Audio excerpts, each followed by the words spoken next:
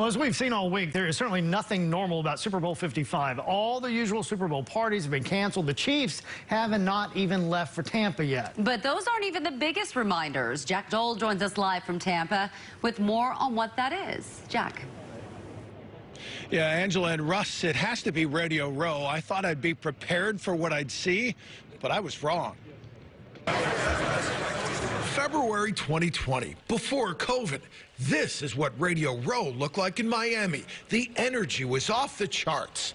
One year later,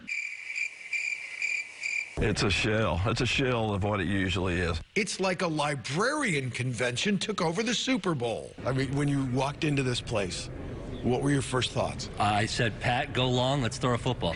Normally, this place is a beehive of activity. Hall of Famers are everywhere. There's no room to move. This year, there's so much room to be able to do, you know, anything you want around here. You could play a game if you want to, right? We can get a full court basketball game rolling in here. That makes lining up guests a bit of a challenge. When we walked through Radio Row, the only athlete on hand was former Bucs center Randy Grimes. Yeah, it's kind of lonely. It's kind of lonely. Eh? It's a reminder of what we've lived through since Super Bowl 54.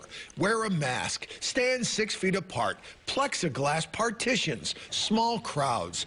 This isn't what we like, but it is what it is. And if any city is positioned to deal with this, it's Tampa, a city that, sports-wise, has enjoyed unprecedented success in these unprecedented times. It's a double-edged sword, right? Because on the one hand, we don't get to be there. We didn't get to be at the Lightning games. We didn't get to go to the World Series. On the other hand, while a lot of other fan bases have been at home with nothing to watch, with nothing going on, we've had one of the best sports, actually the best sports year of our entire lives.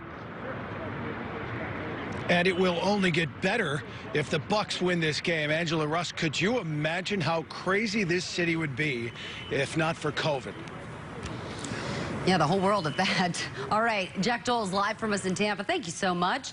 And we will continue to have every angle of the big game covered with live reports from Tampa throughout the week.